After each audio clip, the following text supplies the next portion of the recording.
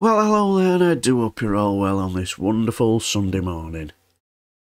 In one of my videos earlier this week, one of my wonderful subscribers asked me if I'd seen that inspiring speech by SNP MP for Paisley and Renfrewshire South Mhairi Black. Sorry if I mispronounced any of that, I do apologise. I have to admit, I hadn't. See, the thing is, when you're neck deep in Tory incompetence to a point where you cannot tell when one complete absurdity begins to when another one ends, you can miss moments of brilliance, can't you? So, anyway, let's watch this amazing young lady's speech together, so to speak. Thank you, Madam Deputy Speaker. Now, for a party that prides itself on the economy, the Tories have a shocking record of running it. Yeah. Our economy has the slowest growth in the G7. We have got greater regional inequality than almost any other developed nation. Food banks now do the job of government in providing for families, families that are more often than not in work. Mm-hmm. Government could start solving this crisis by providing solutions like closing uh, tax avoidance loopholes or creating a windfall tax for energy companies.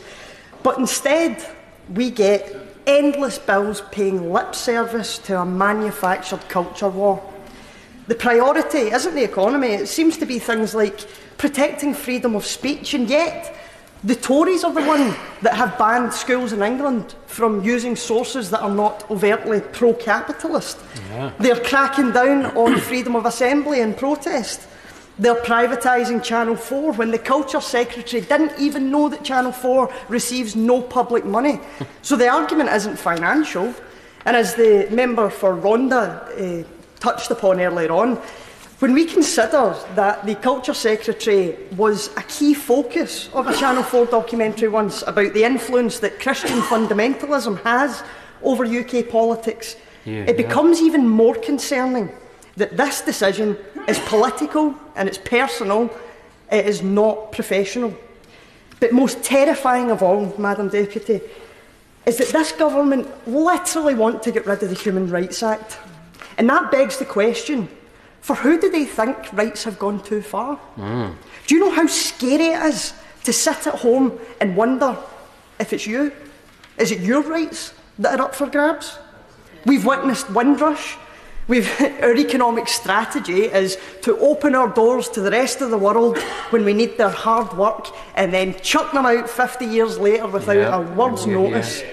We tell our own citizens that their safety can't be guaranteed in Rwanda, but we're perfectly happy to ship asylum seekers, people fleeing war and persecution, over to Rwanda as though they're cattle to be dealt with by someone else. Mm-hmm. And despite knowing that this plan costs more than it will ever save, this is just little England elites drunk on the memory of a British Empire that no longer exists. Yeah. We have the lowest pensions in Europe, the lowest sick pay. We pretend minimum wage is a living wage mm-hmm. when it's not. We miss our own economic targets time and time again. We're happy to break international law. We are turning into a country where words hold no value. And over the last 12 years, I fear we are sleepwalking closer and closer to the F word. And I know everyone is scared to say it for fear of sounding over the top or being accused of going too far. But I say this with all sincerity.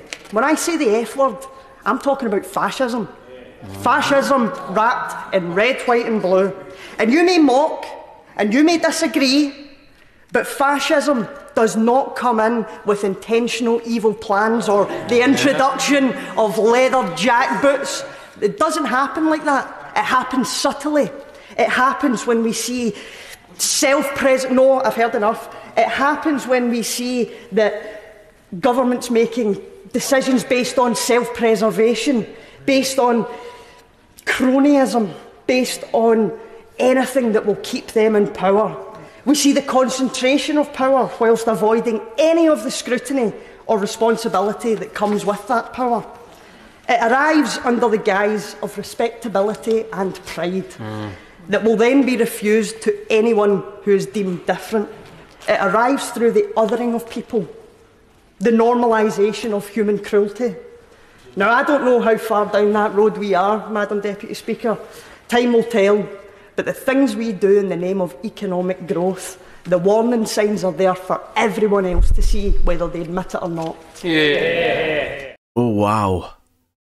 What an amazing young lady. An absolute fantastic politician. You can see it for all to see. What a superb speech, and I totally agree with everything Mhairi Black said. Take a bow, young lady. Right, I shall leave the video here until the next time. I shall bid you farewell and take care.